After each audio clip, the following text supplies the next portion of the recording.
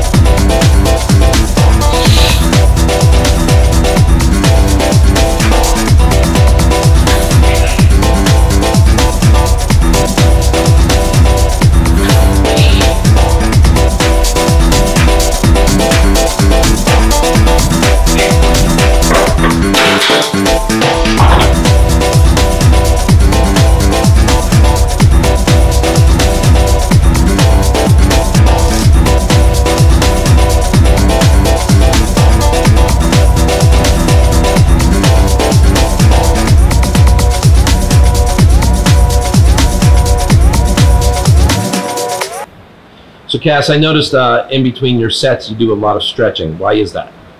I just like to have more range of motion and get the muscles warmed up in between my sets. Increase the blood flow.